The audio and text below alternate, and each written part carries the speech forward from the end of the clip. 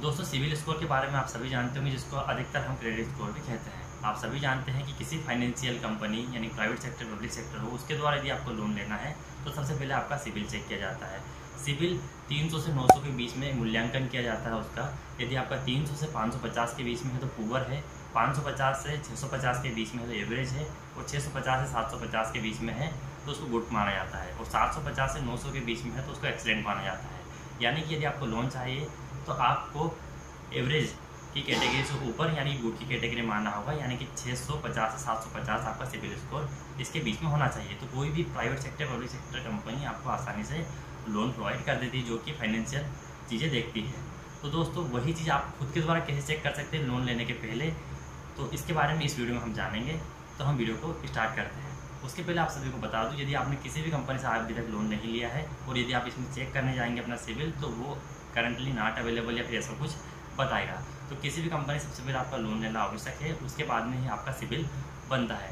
इसके लिए आपको आधार कार्ड और पैन कार्ड की आवश्यकता होती है और एक ओटीपी के माध्यम से आपको मेल के द्वारा या मोबाइल एप्लीकेशन पर आपका सिविल पता चल जाता है। तो चलिए वीडियो को शुरू करते हैं।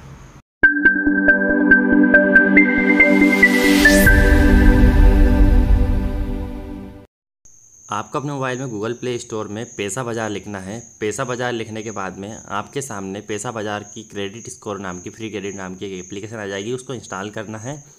इंस्टॉल ये हो जाएगी थोड़ी देर में आपके फ़ोन में, उसके बाद में आपको इसको ओपन कर लेना है। ओपन करने के बाद में आपके सामने इंटरफेस आ जाएगा, इस पर आपको ओपन पर क्लिक करना है।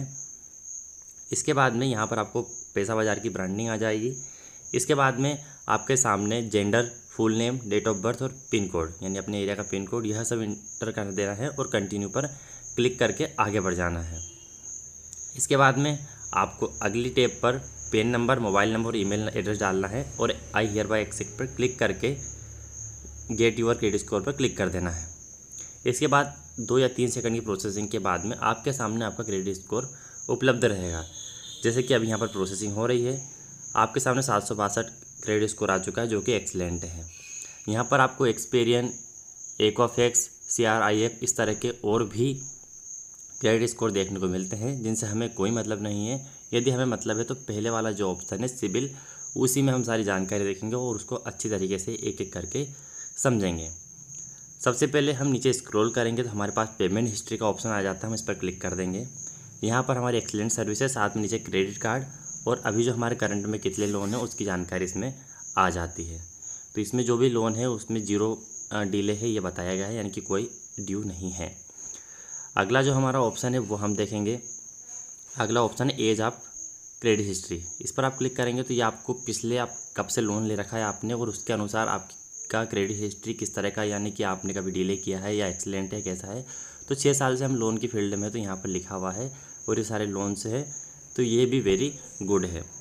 अगला यदि हम ऑप्शन देखेंगे तो उसमें यहाँ आपका सिविल स्कोर दिया हुआ है, उसके बगल में डाउनलोड रिपोर्ट का ऑप्शन है, यहाँ पर क्लिक करके आप आपकी रिपोर्ट डाउनलोड कर सकते हैं।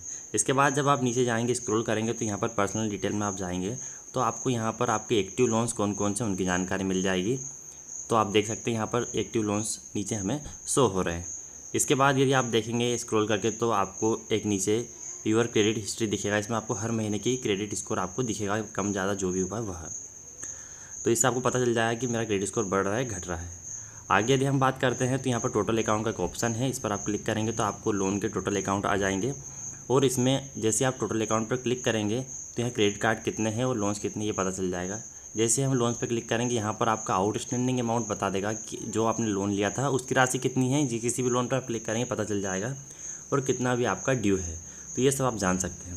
तो आई होप दोस्तों ये जानकारी आपको पसंद आई होगी और इस तरह से आप इसमें चेक कर सकते हैं।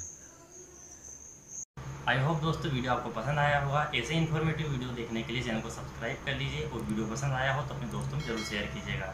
मैं आपके लिए ऐसे इन्फॉर्मेटिव वीडियो लाता रहता हूँ। आज के वीडियो के लिए इतना ही। मिलते हैं अगले वीडियो में।